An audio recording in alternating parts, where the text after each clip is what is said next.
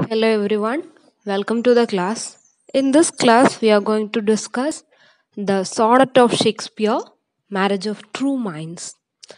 Marriage of true minds എന്നുള്ള ഷേക്സ്പിയറിന്റെ വളരെ ഫേമസ് ആയിട്ടുള്ള സോണറ്റുകളിൽ ഒന്നാണ് ഈ പറയുന്ന marriage of true minds sonnet number one one six നൂറ്റി പതിനാറാമത്തെ സോണറ്റാണ് ഷേക്സ്പിയർ ഒരു നൂറ്റി അമ്പത്താറോളം സോണറ്റുകൾ എഴുതിയിട്ടുണ്ട് അതിൽ പലതും ഫേമസ് ആണ്.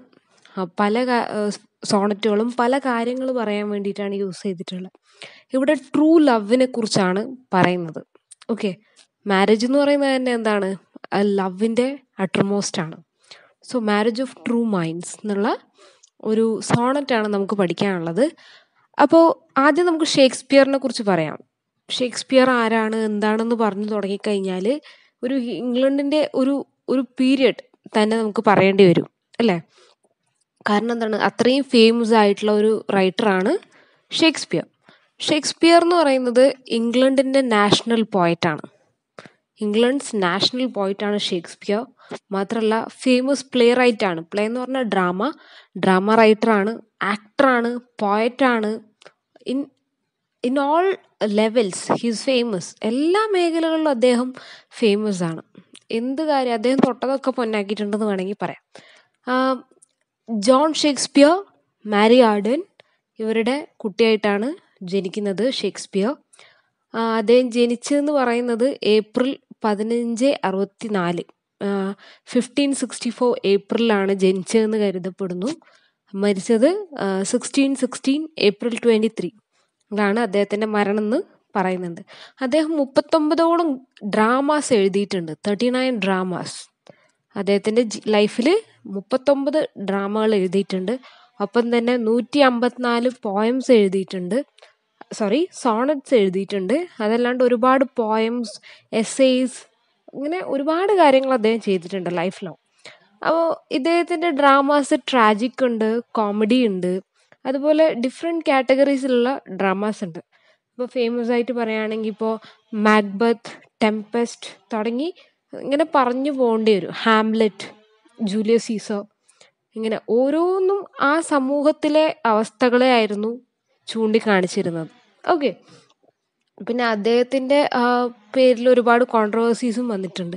അദ്ദേഹം ഒരു ബൈസെക്ഷൽ ആണോ? അതോ അദ്ദേഹത്തിന് വേറെ റിലേഷൻസ് ഉണ്ടായിരുന്നോ? ഇങ്ങനെ പല രീതിയിലുള്ള ചർച്ചകൾ അദ്ദേഹത്തിന്റെ റൈറ്റിങ്സ് വാലുവേറ്റ് ചെയ്തുകൊണ്ട് ഉണ്ടായിട്ടുണ്ട്. പല ക്രിട്ടിക്സും പല അഭിപ്രായങ്ങളും പറഞ്ഞിട്ടുണ്ട്. അപ്പോൾ നമുക്ക് ഈ sonnet one one six sonnet നൂറ്റി പതിനാറ് എന്താണ് പറയുന്നതെന്ന് നോക്കാം. ഓൾറെഡി ഞാൻ പറഞ്ഞു it is talking about the true love true ലവിനെ കുറിച്ചാണ് പറയുന്നത്. അതിന് മുമ്പായിട്ട് സോണറ്റിന്റെ പ്രത്യേകതകൾ നമുക്ക് ഒന്നും കൂടെ പറയാം. What is a sonnet and what is it speciality അപ്പോൾ നമ്മൾ കഴിഞ്ഞ ക്ലാസ്സിൽ പോയട്രി ആൻഡ് ഇറ്റ്സ് ടൈപ്സ് എന്നുള്ള വീഡിയോയിൽ പറഞ്ഞായിരുന്നു. കുറേ പ്രത്യേകതകളുണ്ട് എന്ന് പറഞ്ഞായിരുന്നു. അപ്പോൾ സോണറ്റ് എന്ന് പറയുന്നത് പതിനാല് വരിയുള്ള പോയംസ് ആണ്. പതിനാല് വരിയുള്ള പോയമാണ് എന്ത്? ഈ പറയുന്ന സോണറ്റ് എന്ന് പറയുന്നത്. സോണറ്റിന്റെ മലയാളം എന്ന് പറഞ്ഞാൽ ഗീതകം എന്ന് വേണമെങ്കിൽ പറയാം. സോണറ്റ് എഴുതുന്നതിന് ഒരു പ്രത്യേക രീതി തന്നെയുണ്ട്. നാല് വരിയുള്ള ഒരു പാരഗ്രാഫ് നാല് വരിയുള്ള മറ്റൊരു സ്റ്റാൻസ പിന്നെ പിന്നെ ഒരു നാല് വരി പിന്നെ ഒരു രണ്ട് വരി. ഓക്കെ ഇങ്ങനെയാണ് അതിന്റെ ഇത് കിടക്കുന്നത്. ഓക്കെ നാല് നാല് നാല്. ക്വാർട്ടറൽസ് ആയിട്ടുള്ള നാല് വരിയുള്ള മൂന്ന് ഭാഗവും രണ്ട് വരിയുള്ള കപ്ലറ്റും കൂടി ഉണ്ടാവും. ക്ലിയർ ഒന്നുകൂടെ പറഞ്ഞുതരാം. നാല് വരികളുള്ള മൂന്ന് സ്റ്റാൻസ അവസാനം രണ്ട് വരിയുള്ള ഒരു സ്റ്റാൻസ ഇതിനൊരു റൈമിംഗ് സ്കീം ഉണ്ടാവും. റൈമിംഗ് സ്കീം എന്താണെന്ന് വെച്ച് കഴിഞ്ഞാൽ അറിയാമല്ലോ ലാസ്റ്റ് വരുന്ന വാക്കുകളുടെ റിപ്പിറ്റേഷൻ റിപ്പിറ്റേഷൻ അല്ല സെയിം സൗണ്ട് ഇപ്പോൾ ഈ പോയത്തിലാണെങ്കിൽ മൈൻസ് ഫൈൻസ് ലവ് റിമൂവ് ഇങ്ങനെ ഒരേപോലെ വരുന്നുണ്ട്. ഇതിനാണ് റൈമിംഗ് സ്കീം എന്ന് പറയുന്നത്. അപ്പോൾ ഒരു സോണറ്റിന്റെ റൈമിംഗ് സ്കീം എങ്ങനെയാണെന്ന് വെച്ച് കഴിഞ്ഞാൽ A B A B C D C D E F E F G G എന്നുള്ളതാണ്. A B A B C D C D E F E F G G G G G okay അത്രയാണ്. പതിനാല് വരികൾക്കും കൂടി ഇങ്ങനെയുള്ളൊരു rhyming സ്കീമാണ് ഉള്ളത്. അത് നമുക്ക് poem കഴിഞ്ഞിട്ടായിട്ട് ഒന്നും കൂടി അത് പറയാം. പിന്നെ ഇതിന്റെ ഒരു എന്താണ് മീറ്റർ എന്ന് പറയുന്നത് ഇതിന്റെ ഒരു താളം എന്ന് പറയുന്നത് ഇയാംബിക് പെൻഡാമീറ്റർ ആണ്. ആംബിക് പെൻഡാമീറ്റർ എന്നും പറയാറുണ്ട്. ഇയാംബിക് പെൻഡാമീറ്റർ ആണ്. ഓക്കെ സോ നമുക്കിനി പോയത്തിലേക്ക് പോവാം. ആദ്യം നമുക്കിതൊന്ന് കംപ്ലീറ്റ്ലി ഒന്ന് വായിക്കാം. Let me not to the marriage of true minds admit impediments. Love is not love, which alters when it alternation finds, or bends with the remover to remove. Oh no, it is an ever fixed mark that looks to tempest, sorry, that looks on tempest and is never shaken.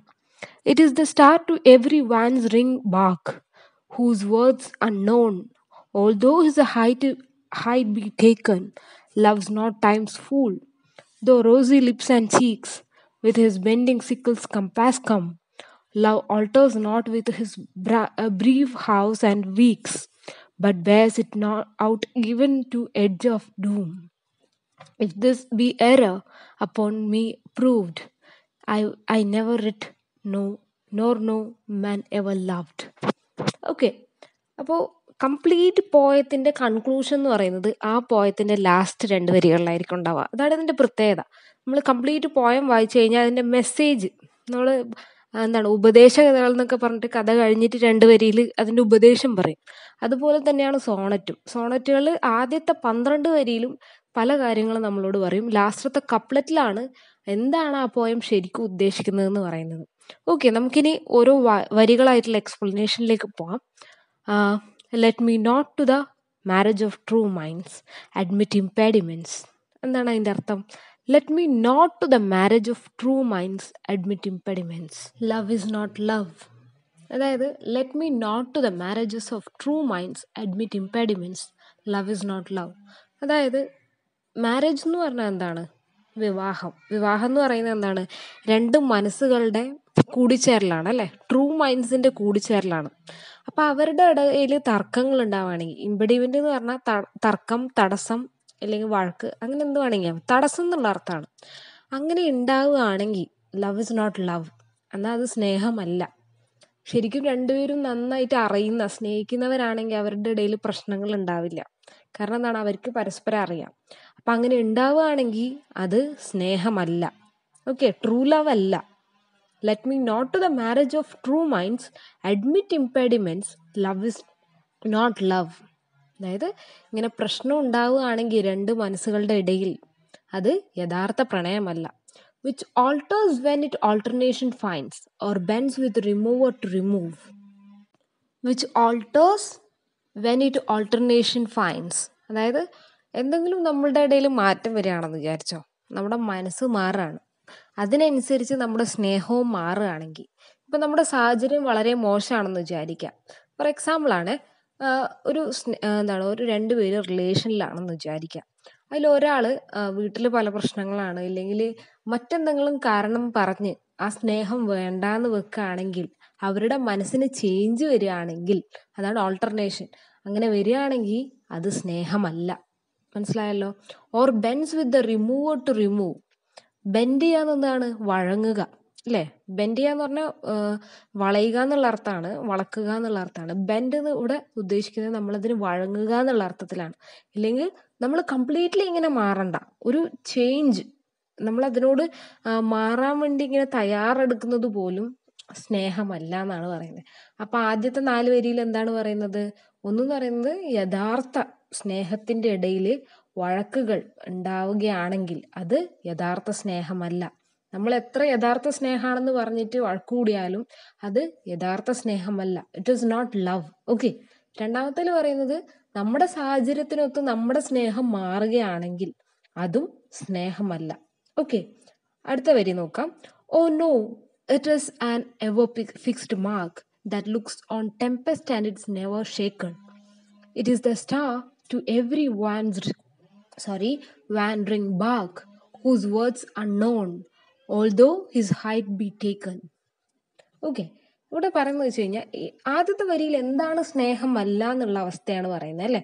ഒന്ന് പറയുന്നു രണ്ടുപേരുള്ള സ്നേഹത്തിന്റെ ഇടയിൽ വഴക്കുകൾ ഉണ്ടാവുകയാണെങ്കിൽ അത് സ്നേഹമല്ല. രണ്ടാമത് പറഞ്ഞു നമ്മുടെ സൗകര്യത്തിനനുസരിച്ച് സ്നേഹത്തിന് വേണ്ടാന്ന് വെക്കുകയോ അതിൽ നിന്ന് മാറുകയോ ചെയ്തു കഴിഞ്ഞാലും അത് സ്നേഹമല്ല. മൂന്നാമത്തെ വരിയിൽ ഇപ്പൊ പറഞ്ഞ വരിയിൽ പറയുന്നു O it is an a fixed mark സ്നേഹം എന്ന് പറയുന്നത് ഫിക്സ്ഡ് ആണ്. ഒരിക്കലും മാറാത്ത ഒന്നാണ്. അതൊരു എന്താണ് തറക്കല്ല് പോലെ അത്ര സ്ട്രോങ് ആയിട്ടുള്ള ഫിക്സ് ചെയ്തിട്ടുള്ള ഒരു കാര്യമാണ്. മനസ്സിലായല്ലോ? ഫിക്സ്ഡ് മാർക്കിന് നമുക്ക് ഇവിടെ ഒരു കമ്പാരിസൺ കൊടുക്കാം. ഒരു ലൈറ്റ് ഹൗസ് ഉണ്ടെന്ന് വിചാരിക്കാം. കടൽ തീരത്തുള്ള ലൈറ്റ് ഹൗസ് ലൈറ്റ് ഹൗസിന്റെ ഡ്യൂട്ടി എന്താണ്? മറ്റുള്ളവർക്ക് വഴി കാണിച്ചു കൊടുക്കുക എന്നുള്ളതാണ്.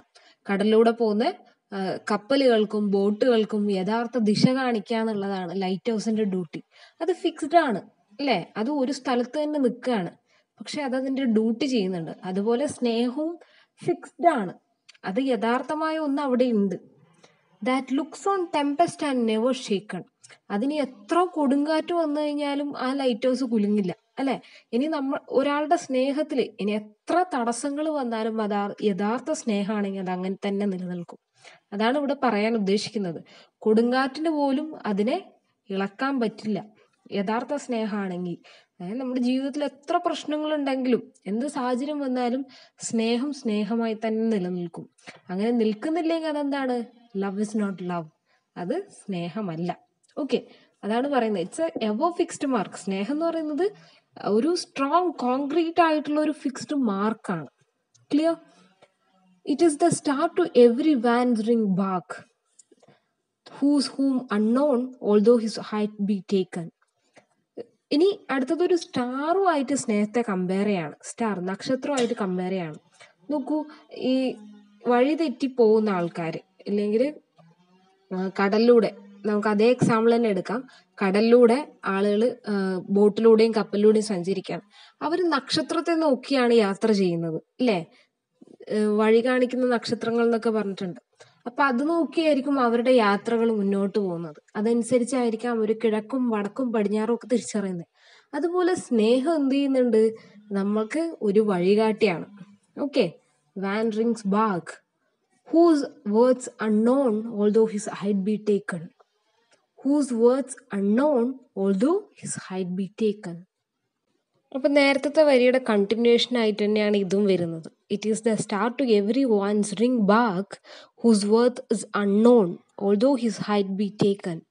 അതായത് ഒരു നക്ഷത്രം എല്ലാവർക്കും വഴി കാണിക്കും അല്ലെ? കടലിൽ പോകുന്നവരുടെ ആൾക്കാർക്കൊക്കെ വഴി കാണിക്കും. അതുപോലെ സ്നേഹം സ്നേഹിക്കുന്നവരെയും വഴി കാണിക്കുന്നതാണ് അല്ലേ? അപ്പോൾ ആ സ്നേഹത്തിന്റെ വാല്യൂ എത്രയാണെന്ന് നമുക്കറിയില്ലെങ്കിലും അതിന്റെ ഹൈറ്റ് എന്ന് പറയുന്നത് വളരെ അധികമാണ് അല്ലേ? ഇപ്പൊ സ്നേഹത്തിന്റെ വാല്യൂ എത്രയാണെന്ന് നമുക്കറിയില്ല. ഇല്ലെങ്കിൽ ആ നക്ഷത്രം കമ്പയർ ചെയ്ത് ആ നക്ഷത്രം എത്ര ദൂരെയാണ് എന്താണത് അതിന്റെ വാല്യൂ എന്ന് നമുക്കറിയില്ല. പക്ഷെ അതെന്ത് ചെയ്യുന്നുണ്ട്? നമ്മളെപ്പോഴും സംരക്ഷിക്കുന്നുണ്ട് ഇല്ലെങ്കിൽ നമുക്ക് വേണ്ടി അത് നിലനിൽക്കുന്നുണ്ട്. ക്ലിയർ ഒന്നും കൂടെ ആ സ്റ്റാൻസ് പറയണോ? O no it's an ever fixed mark that looks on tempest and is never shaken it is the start to every wandering bark whose words unknown although his a height be taken okay ഇവിടെ പറഞ്ഞത് എന്താണ്? സ്നേഹം എന്ന് പറയുന്നത് ഒരു light ഹൗസിനെ പോലെയാണ്. അത് എന്ത് ചെയ്യുന്നുണ്ട്? ഒരു ഫിക്സ്ഡ് മാർക്കാണ് അതിനെ ഒരിക്കലും നമുക്ക് ചേഞ്ച് ചെയ്യാൻ പറ്റില്ല. അതെപ്പോഴും അവിടെ തന്നെ ഉണ്ട് അതേസമയം എല്ലാവർക്കും വഴി കാണിക്കുന്നു. നമ്മൾക്ക് ഓരോരുത്തർക്കും സ്നേഹം വഴി കാണിക്കുന്ന പോലെ ട്രൂ മൈൻഡ്സ് എത്ര രണ്ടുപേരും എത്ര അകലെയാണെങ്കിലും സ്നേഹമാണ് അവരെ അടുത്ത് നിർത്തിക്കുന്നത് അല്ലേ? അവരുടെ ഇടയിൽ പ്രശ്നങ്ങളില്ലാണ്ട് പോകുന്നത് ആ സ്നേഹം ഉള്ളതുകൊണ്ടാണ്. ട്രൂ ലവ് ആയതുകൊണ്ടാണ്. അതുപോലെ സ്റ്റാറിനെ പോലെ അത് നമുക്ക് വഴി കാണിക്കുന്നു. അതിന്റെ വാല്യൂ എത്രയാണെന്ന് നമുക്കറിയില്ല. പക്ഷേ അത് ജീവിതത്തിൽ ഉണ്ടാക്കുന്ന ഇൻഫ്ലുവൻസ് വളരെ വലുതാണ്. അല്ലേ? ഒരു സ്റ്റാർ ആകാശത്ത് നിൽക്കുന്നു. അതിന് പ്രത്യേകിച്ച് ഒരു വാല്യൂ നമ്മൾ കൊടുക്കുന്നില്ല. പക്ഷെ അത് വലിയൊരു കാര്യമാണ് നമുക്ക് ചെയ്യുന്നത്. അതിന്റെ മഹത്വം അത്ര വലുതാണ്. എങ്ങനെയാണ് മഹത്വം ഉണ്ടാവുന്നത്? ഈ വഴിതെറ്റി പോകുന്ന ആൾക്കാർക്കൊക്കെ ഒരു വഴി കാണിക്കുമ്പോഴാണ് ആ നക്ഷത്രത്തിന് മഹത്വം ഉണ്ടാവുന്നത്. അതേപോലെ സ്നേഹത്തിന്റെ കാര്യവും അങ്ങനെ തന്നെയാണ്. അടുത്ത വരി നോക്കൂ. Love is not time's fool, though rosy lips and cheeks. Within his bending sickle's compass come, love alters nor with his brief hours and weeks, but bears it out even the to the edge of doom. അതായത് love is not time's fool though rosy lips and cheeks പ്രണയം എന്ന് പറയുന്നത് അല്ലെങ്കിൽ ആ സ്നേഹം എന്ന് പറയുന്നത് ആ ഇഷ്ടം ട്രൂ ലവ് എന്ന് പറയുന്നത് എന്താണ് സമയത്തിന് നില സമയക്കണക്കിലുള്ളതല്ല അല്ലെ? അത് ചെറിയ കുട്ടിക്ക് തോന്നാം വയസ്സായവർക്ക് തോന്നാം. പ്രണയത്തിന് മരണമില്ല അല്ലെ? ഇറ്റ് എവർ ലാസ്റ്റിങ് അല്ലെ? പ്രണയം അനശ്വരമാണെന്നൊക്കെ പറയുന്നത് കേട്ടില്ലേ അതുപോലെ അത് ഏതു പ്രായത്തിലുള്ളവർക്കും എപ്പോൾ വേണമെങ്കിലും തോന്നാവുന്ന ഒന്നാണ്. Love is not time's fool അല്ലേ? സമയം വെച്ച് നമ്മൾക്ക് സ്നേഹിക്കാൻ പറ്റുമോ രാവിലെ സ്നേഹിക്കാം ഉച്ചയ്ക്ക് സ്നേഹിക്കാം അങ്ങനെ ഇല്ല. എന്താണ് അത് ടൈമിനെ അടിസ്ഥാനപ്പെടുത്തിയിട്ടല്ല സ്നേഹമുള്ളത്. സ്നേഹം എന്ന് പറയുന്നത് എവർ ലോങ് ആണ്. Though rosy lips and cheeks അതായത് നമുക്ക് വളരെ യങ് ആയിരിക്കുമ്പോൾ നമ്മൾ ഒരു പതിനെട്ട് ഇരുപത് വയസ്സൊക്കെ ഉണ്ടാകുമ്പോൾ സ്നേഹിക്കുന്നു എന്ന് വിചാരിക്കാം. അപ്പൊ നമുക്ക് നല്ല കണ്ണുകളായിരിക്കും നല്ല ചുണ്ടുകളായിരിക്കും നല്ല കവിളുകളായിരിക്കും. ആ സൗന്ദര്യം നോക്കി സൗന്ദര്യത്തിനനുസരിച്ചല്ല ഒരിക്കലും സ്നേഹം. സ്നേഹം എന്ന് പറയുന്നത് അതിനി നമ്മൾ മരിക്കാൻ കിടക്കുമ്പോഴും അല്ലെങ്കിൽ എത്ര വയസ്സായാലും യഥാർത്ഥ സ്നേഹം നിലനിൽക്കും. മറ്റതൊക്കെ പോവും. മനസ്സിലായല്ലോ? സമയത്തിന്റെ ബേസിസിലല്ല സ്നേഹം. യഥാർത്ഥ സ്നേഹം എന്ന് പറയുന്നത് എല്ലാ കാലവും ഉണ്ടാവും. റോസി ലിപ്സോ ചീക്സോ അതിന് വേണമെന്നില്ല. Clear within the bending sickle compass come love alters not with his brief hours and weeks അടുത്ത വരി നോക്കൂ. Sickle compass come his bending sickle compass come അതായത് ഹിസ് എന്ന് ഉദ്ദേശിക്കുന്നത് ഇവിടെ ക്ലോക്കിനെയാണ് ഓക്കെ ഹിസ് ബെൻഡിങ് സിക്കിൾ അത് ഇങ്ങനെ ഇങ്ങനെ ചുറ്റി ചുറ്റി പോവുകയാണല്ലോ. Sickle compass come love alters not with his brief hours and weeks അപ്പോൾ ക്ലോക്കിൽ കാണിക്കുന്ന ആഴ്ചകളോ ദിനങ്ങളോ അടിസ്ഥാനപ്പെടുത്തിയല്ല സ്നേഹം ഇരിക്കുന്നത്. ക്ലിയർ ലവിനെ ഒരിക്കലും ചേഞ്ച് ചെയ്യാൻ പറ്റില്ല. എങ്ങനെ? മണിക്കൂർ കൊണ്ടോ ദിവസങ്ങൾ കൊണ്ടോ ഒന്നും തന്നെ സ്നേഹത്തിനെ നിർത്താനോ ഒന്നും പറ്റില്ല.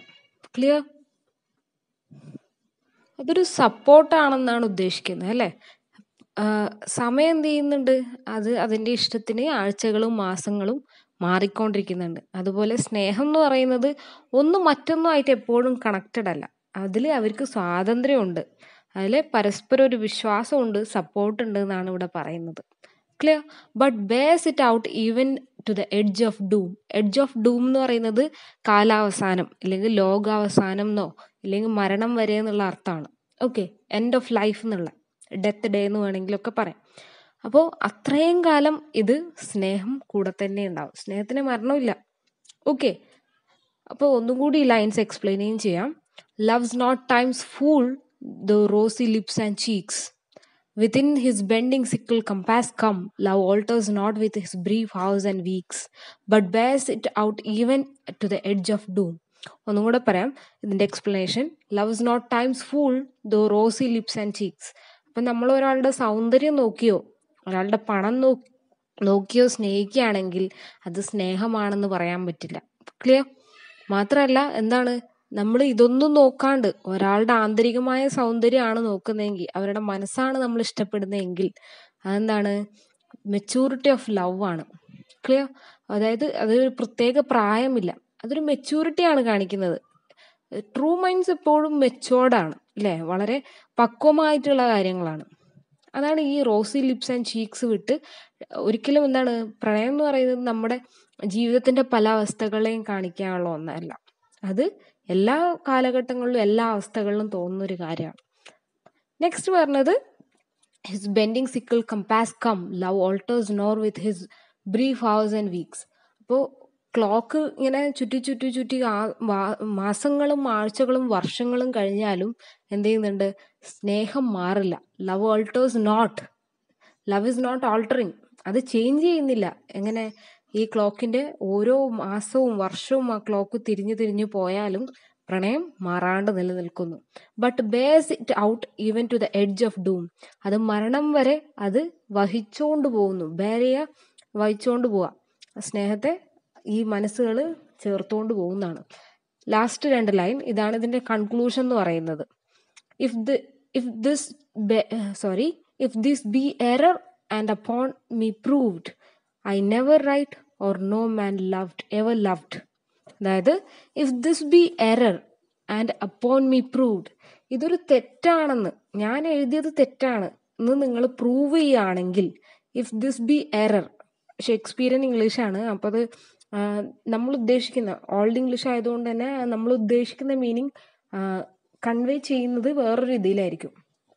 ഇഫ് ദിസ് ബി എറർ ഇതൊരു തെറ്റാണെങ്കിൽ ആ തെറ്റ് നിങ്ങൾ എന്നിൽ തെളിയിക്കുകയാണെങ്കിൽ ഞാൻ എഴുതിയ തെറ്റാണെന്ന് നിങ്ങൾ തെളിയിക്കുകയാണെങ്കിൽ അപ്പോൺ മീ പ്രൂവ്ഡ് എന്നിൽ അത് നിങ്ങൾ തെളിയിക്കുകയാണെങ്കിൽ ഞാൻ ഇനി ഒരിക്കലും എഴുതില്ല. I never write okay writ എന്നാണ് എഴുതിയിട്ടുള്ളത്. നോക്കൂ റൈറ്റ് എന്നാണ് വായിക്കേണ്ടത്. I never write nor no man ever loved മാത്രമല്ല ഞാനിനി ഒരിക്കലും എഴുതുകയില്ല. പിന്നെ ഒരു അർത്ഥം എന്ന് പറയുന്നത് ലോകത്ത് ഒരാളും സ്നേഹിച്ചിട്ടില്ല എന്നുള്ളതാണ്. മനസ്സിലായല്ലോ? ഇതിൽ നിങ്ങൾ ഞാൻ ഇത്രയും മുകളിൽ പറഞ്ഞ കാര്യങ്ങളൊക്കെ ശരിയാണെങ്കിൽ അല്ല തെറ്റാണെങ്കിൽ എന്ത് ചെയ്യണം? നിങ്ങളത് എന്നിൽ പ്രൂവ് ചെയ്യണം. ഞാൻ എഴുതിയ തെറ്റാണെന്ന് പ്രൂവ് ചെയ്ത് കഴിഞ്ഞാൽ ഞാൻ സമ്മതിക്കാം. ഞാൻ ഇനി എഴുതില്ല. മാത്രമല്ല ഈ ലോകത്ത് ആരും തന്നെ സ്നേഹിച്ചിട്ടില്ല എന്ന് ഞാൻ പറയും അറിയാണ്. അപ്പോൾ ശരിയല്ലേ? ഷേക്സ്പിയർ ഇത് എഴുതിയിട്ടുണ്ട്. ആരും ഇതുവരെ പ്രൂവ് ചെയ്തിട്ടില്ല. മാത്രമല്ല എന്താണ്? ആ സ്നേഹം ഇപ്പോഴും നിലനിൽക്കുന്നുണ്ട്. എല്ലാവരും തന്നെ സ്വയം പ്രണയിക്കുന്നുമുണ്ട്. So true love never ends അല്ലേ അങ്ങനെ വേണമെങ്കിൽ പറയാം. പോൾ ടോട്ടൽ പോയ ഇതാണ്. നമ്മൾ സമയത്തിനും കാലത്തിനനുസരിച്ച് സ്നേഹം മാറുകയാണെങ്കിൽ അത് സ്നേഹമല്ല മാത്രമല്ല രണ്ട് സ്നേഹിക്കുന്നവരുടെ ഉള്ളിൽ തർക്കങ്ങൾ ഉണ്ടാവുകയാണെങ്കിൽ അതും യഥാർത്ഥ സ്നേഹമല്ല. പിന്നെ പറഞ്ഞത് ഒരിക്കലും മായ്ക്കാനാവാത്ത ഒരു മാർക്കാണ് സ്നേഹം. മാത്രമല്ല കൊടുങ്കാറ്റുകൾക്ക് പോലും അതിനെ ആടി ഉലയ്ക്കാൻ പറ്റില്ല. മാത്രമല്ല പിന്നെ പറഞ്ഞു അതൊരു നക്ഷത്രമാണ്. ഇനി എത്ര ദൂരെയാണെങ്കിലും ആ നക്ഷത്രം എത്രയോ ദൂരെയാണ്. പക്ഷെ ആ താഴെ കൂടെ പോകുന്ന അല്ലെങ്കിൽ ആ കപ്പലിലൂടെ പോകുന്നവർക്ക് വഴികാട്ടിയാണ്. അതുപോലെ സ്നേഹത്തിന് അടുത്ത് വേണമെന്നൊന്നും നിർബന്ധമില്ല മാത്രം എന്താണ്? ആ സ്നേഹം തന്നെ അവരെ ഒരുമിച്ച് കൊണ്ടുപോയിക്കോളും എന്നുള്ള അർത്ഥമാണ്. പിന്നെ പറഞ്ഞത് അതെത്ര ദൂരെയാണെങ്കിലും അതെത്ര അകലെയാണെങ്കിലും അതിന്റെ വാല്യൂ അതെപ്പോഴും സെയിം ആണ്. പിന്നെ പറഞ്ഞു ലവ് എന്ന് പറയുന്നത് ഒരു ടൈംസ് ഫൂൾ അല്ല. ഓക്കെ പ്രണയം എന്ന് പറയുന്നത് കാലഘട്ടത്തിനനുസരിച്ച് മാറില്ല. അത് വയസ്സായാലും യങ് ആയാലും എപ്പോഴും സ്നേഹം സ്നേഹം തന്നെയാണ്. അതിനൊരിക്കലും സൗന്ദര്യമോ ഇല്ലെങ്കിൽ പണമോ ഒന്നും തന്നെ ആവശ്യമില്ല. പിന്നെ പറഞ്ഞത് മണിക്കൂറുകളോ ദിവസങ്ങളോ കൊണ്ട് ഇല്ലെങ്കിൽ മരണം വരെ സ്നേഹത്തിന് അന്ത്യമില്ല. സ്നേഹിക്കുന്നവർ സ്നേഹിച്ചുകൊണ്ടേയിരിക്കും.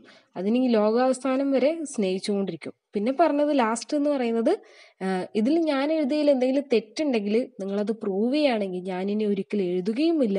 മാത്രമല്ല ഈ ലോകത്ത് ആരും തന്നെ പ്രണയിച്ചിട്ടില്ല എന്ന് ഞാൻ സമ്മതിക്കുന്നു പറയാണ്. ഓക്കെ ഇനി ഇതിന്റെ റൈമിംഗ് സ്കീം ഒന്ന് നോക്കൂ.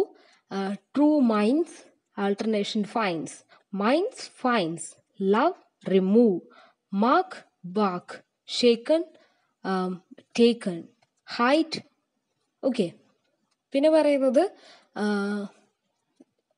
come doom weeks weeks cheeks proved loved okay ഇതാണ് ഇതിന്റെ റൈമിംഗ് സ്കീം പോയ ഒന്ന് നന്നായിട്ട് വായിക്കുക അപ്പോൾ ഒന്നും കൂടി ക്ലിയർ ആവും.